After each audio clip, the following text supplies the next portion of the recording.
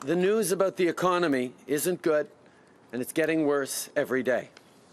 When he's asked about it, when he chooses to answer questions, Stephen Harper's only response is that we need to stick to the status quo. Well, I think it's fair if the Prime Minister is telling Canadians to stay the course, that we take a look at where his course has taken us. It's led to eight consecutive deficits. It's led to two recessions, one of them unique to Canada. We're the only country in the G7 currently in recession. We have a Prime Minister who's added more than $150 billion to the national debt and delivered the worst decade of growth since the Great Depression. So you have to ask yourselves, are you really better off today than you were 10 years ago when Stephen Harper became Prime Minister? And we also have to ask ourselves, what is his path forward? It's austerity and cuts. And Tom Mulcair agrees with him. Well, we believe that the economy needs investment, jobs, and growth.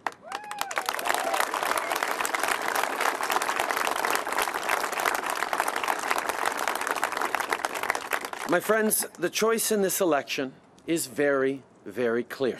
It's between smart investments that create jobs and growth or austerity and cuts that will slow our economy further. Think about it for a moment. The roads we drove here on, the transit we take to work in the morning, the water that comes out of our taps. All of those things are here not because we paid for them, but because our parents and grandparents thought enough of us to invest in our future. The people who came before us had ambition for us. They knew something that Tom Mulcair and Stephen Harper seem to have forgotten that optimistic, confident, successful countries invest in their future. I have confidence in the future of this country. I believe in Canadians. I believe in our work ethic. I believe in our ingenuity. I believe in our ability to grow our economy. This is a great country and it deserves better leadership.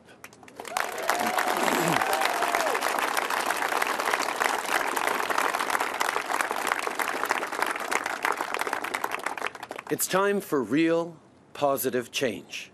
The kind of change that will turn our economy around and get it growing again. Change that will create jobs and restore economic security to the middle class. Our plan will make life better for Canadians. We will raise taxes on the wealthiest 1% so we can cut them for the middle class. We will stop sending Stephen Harper's government checks to millionaires so we can give more to the families who need it. We'll give families better parental leave options, and we'll make it easier for families to care for seriously ill loved ones. And that is the first part of our plan. Invest in the middle class, give Canadians the tools they need to grow the economy and build a better country. Today, I want to talk with you all about the next major step in our plan. See, there's been a lot of talk in this campaign about leadership. Let me tell you what I think national economic leadership looks like.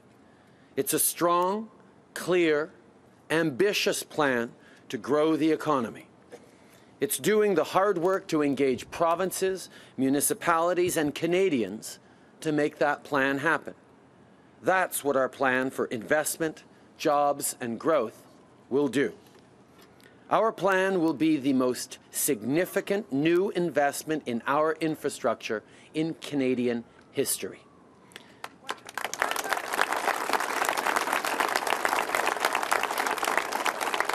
We will invest 60 billion new dollars over 10 years, nearly doubling the current government's planned investment.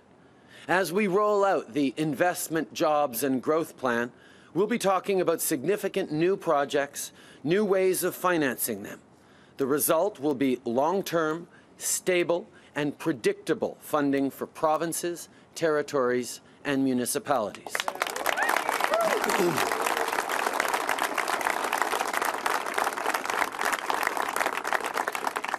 The plan will focus on three areas that will create economic growth now and make our economy more productive over time public transit, social infrastructure, and sustainable infrastructure.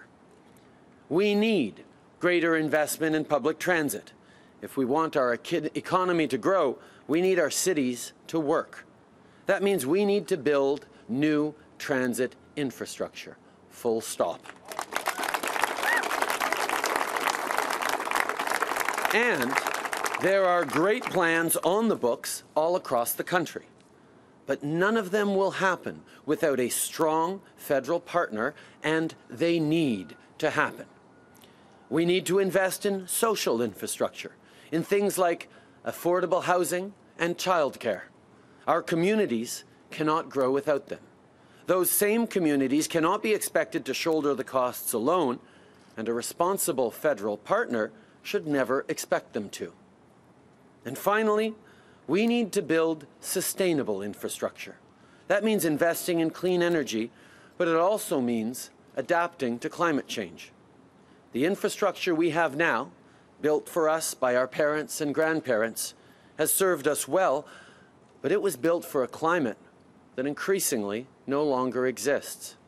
A changed climate is the toughest legacy that we will hand our kids and our grandkids. We need to give them the tools they'll need to adapt to it.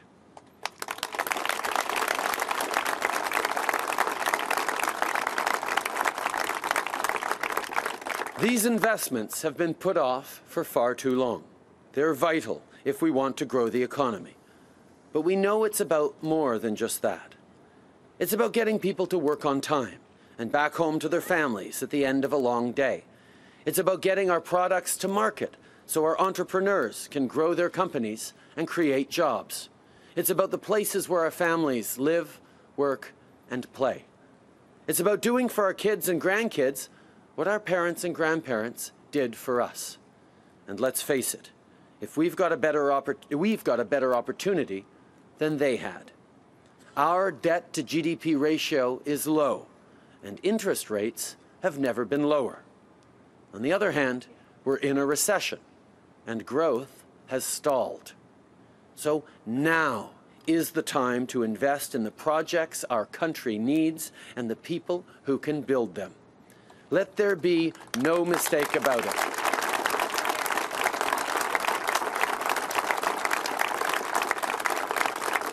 Let there be no mistake about it. National leadership and federal investments enabled the prosperity we enjoyed through much of our history.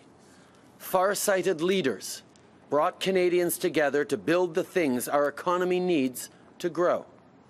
The Canadian Pacific Railway, the St. Lawrence Seaway, the Trans-Canada Highway. None of these things would have happened without smart and sustained federal investment. These projects didn't just create economic opportunities. They helped bring Canadians together, coast to coast to coast, community to community. They focused not on where we've been as a country, but on where we're going. Nous avons déjà annoncé plusieurs aspects de notre plan économique. Economic canadienne aux familles, qui donne plus aux familles de la classe moyenne. Uh, Une baisse d'impôts pour les Canadiens de la classe moyenne. Lowering taxes 8 millions de personnes auront plus d'argent dans leur poche. De meilleures prestations pour les aidants naturels et nos anciens combattants.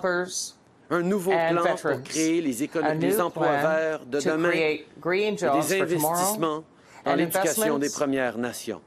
And education Alors for First Nations. je vous So parle today, d'investissement dans I'm nos infrastructures. in Il s'agira du plus important investissement en This be infrastructure dans l'histoire du Canada. infrastructure in the history of 60 Canada. milliards de dollars sur 60 10 ans, billion dollars soit presque le 10 double des investissements prévus actuellement par le gouvernement. the investments currently planned for by the government.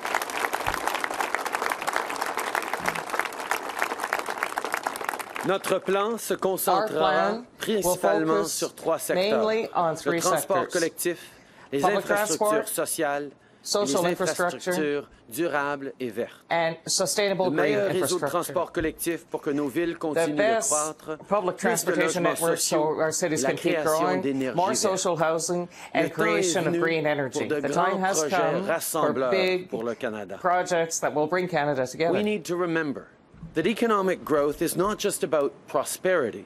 It's about building a country that gives everyone a real and fair chance to succeed. This is what our history has taught us, and it's what our future demands of us. If we want to leave a better country to our kids than the one we inherited, we need to act with the same confidence as previous generations. That's what this plan is all about.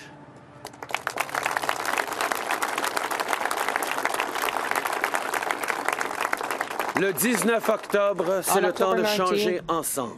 will be the C'est le time to temps change together. dans la classe It'll be moyenne the time to invest in middle créer class de la croissance and to économique. create economic And growth. together, my friends, we will build a better country. Merci beaucoup.